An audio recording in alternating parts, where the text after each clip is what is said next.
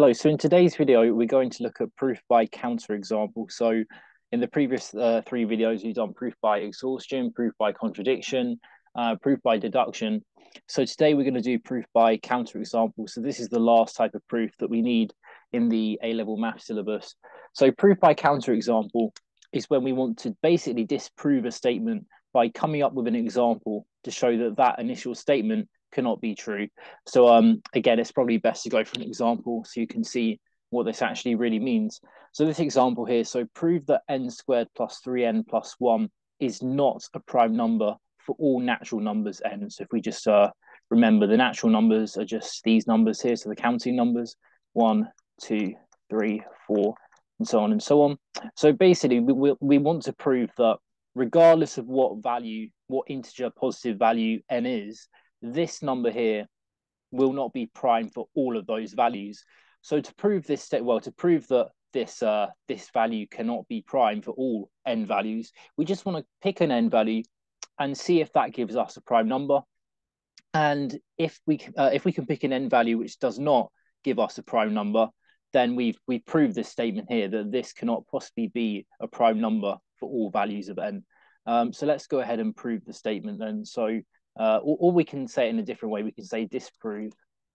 So disprove that n squared plus 3n plus 1 is prime for all n in the natural numbers.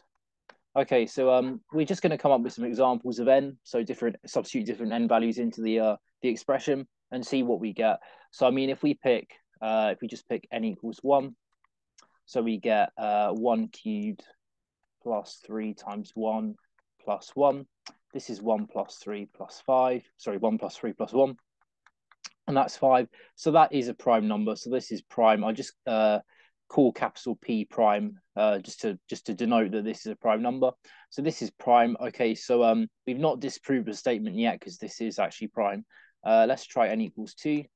Uh, so we get 2 cubed plus 3 times 2 plus 1. This is 8 plus 6 plus 1. Um, okay, so sorry, I've made a mistake here. This should be squared. My bad. This is uh, 1 squared, and this is squared here. Sorry for that. Uh, so 2 squared is 4. Sorry, my bad. Uh, so that's 4. 4 plus 6 is 10, plus 1 is 11. Again, 11 is a prime number, so I'll just put a capital P there. Okay, let's try the next one. Uh, so we want to uh, we want to come up with an example of n such that we get this to be a non-prime number, and then once we've done that, we've disproved the statement. Uh, so three squared plus three times three plus one. So that would give us nine plus nine plus one. This is 19. Again, it's prime. Uh, let's keep on going. So n equals four. We get four squared plus three times four plus one. So we get 16 plus 12 plus 1. This is 29. So again, it's going to be prime. Uh, let's try the next one. So n equals 6. I mean, sorry, n equals 5. So we get uh, 5 squared plus 3 times 5 plus 1. Uh, so this is just going to be 25 plus 15 plus 1. So again, we get a prime number. We get 41. Um, and let's try the next one. So n equals 6. So we get 6 squared plus 3 times 6 plus 1. So this will just be 36 plus 18 plus 1. Uh, so this should be 55.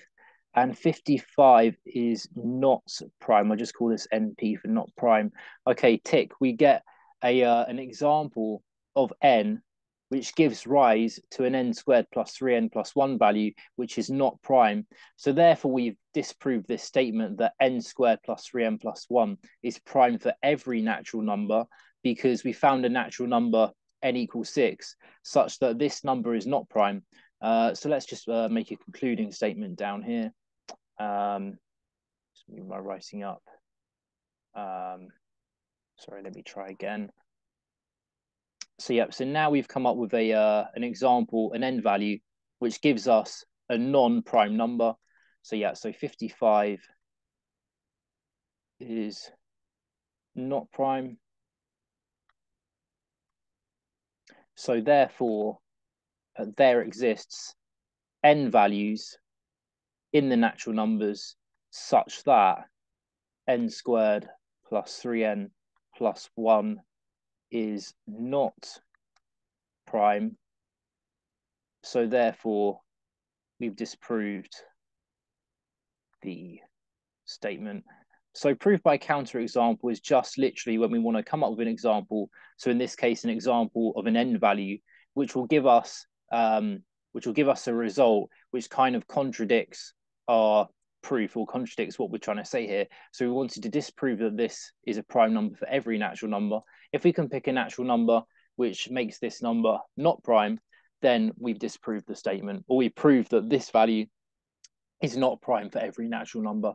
Um, so yeah, that's just an example of proof by counterexample, um, and it doesn't really get much more trickier than that. That's kind of uh, as far as these questions go. Um, so yeah, that's the end of today's video.